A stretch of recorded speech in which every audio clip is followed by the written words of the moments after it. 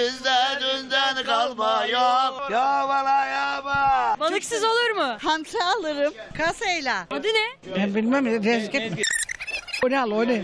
Fiyatlar nasıl? Bedava bedava. Canlı canlı diri diri. Hamsi bol mu? 10 lira hamsi. Tereyağın hamsi pişmez. Olmaz ayçiçek. Bol limonu da sıkarsın. Haftada bir en az. Hamsinin kilosu 10 liraya düştü. 10 lira canlı hamsi. İstavrit'in tazesi burada. Olur. Hey maşallah be. Palamutlar Şile'den. Ayağın uğurlu geldi be. Tezgahtan yükselen sesler bunlar. Ama balık şu sıralar bol mu?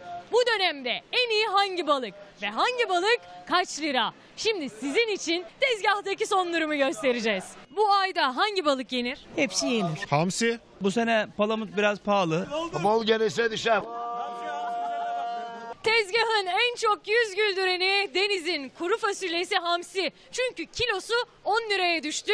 Kar soğuğu gelecek diyorlar. Nasıl etkiler? Daha tat dolu, lezzet dolu hamsi.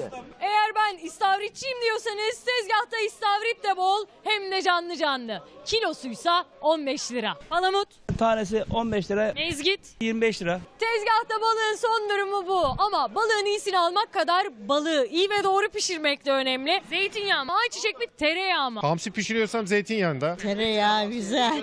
Hepsini de severim. Tabii canım. Tere, tereyağı da balık olur mu? Aa hem de nasıl olur. Eğer tavada balık yapacaksanız mutlaka ayçiçek yağını kullanmanız gerekiyor. Hamsi, istavrit, mezgit. Zeytinyağı olursa eğer çok ağır olur. Bakın çok hafif olur, yağ çekmiyor. Bakın ikinci bir yağ gerek yok. Peki balığı ızgarada yaparsak hangi yağ kullanacağız?